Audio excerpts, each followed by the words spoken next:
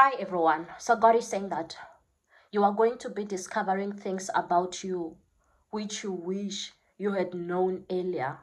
Life changing things, dangerous things, powerful things, things some of you related to your destiny, things some of you related to your family. That had you known these things earlier on, your life wouldn't be where it is right now. Your life would have been different. Hallelujah. So God is still saying in your life, you are going to be discovering certain things that were hidden to you, that were hidden to other people, but they were not hidden to your enemy. Some of you, you are going to discover that you are so powerful. You are giants in the spirit, that you have so much wisdom, that you have so much potential. You are still going to be discovering your strengths in the mighty name of Jesus. You are still going to be discovering great opportunities opportunities in the mighty name of Jesus. And when you discover these things, you'll be like, oh, if only I had known these things way back. If only I had known these things years back. God is saying that you are not going to be departing from this world without discovering your purpose. You are still going to be discovering your purpose in the mighty name of Jesus. Some of you might already be saying that God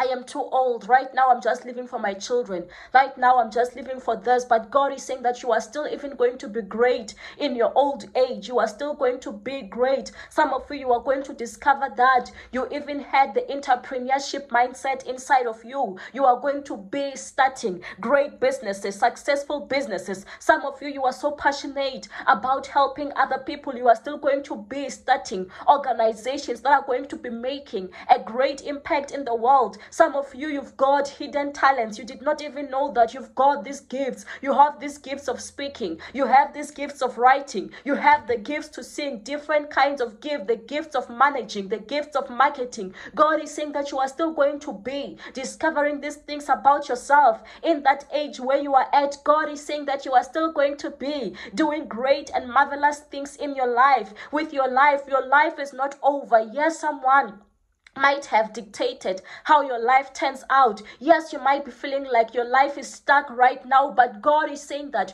you are still going to discover so many things that you can do with your life. You are still going to be discovering so many, many opportunities. Some of you have been operating from an angle of weakness, a point of weakness, a point of oppression, but now you are about to be discovering that you are so powerful. You are about to be discovering your strengths in the mighty name of Jesus. Some of you, you are going to see how anointed you are, how powerful you are, that when you declare certain things, they come to pass, and you're going to be like, oh, how I wish I knew this method, how I wish I knew this secret that I can command things and they come to being. Hallelujah. So God is still saying that from you, great things are still going to come in the mighty name of Jesus. From you, you are still going to do things that no one thought you can do in the mighty name of Jesus. Yes, other people might have written you off and say you are useless, you are nothing, nothing great can come out of you. They were looking for excellent things from other people, but not from you. But God is saying that you are still going to be shocking many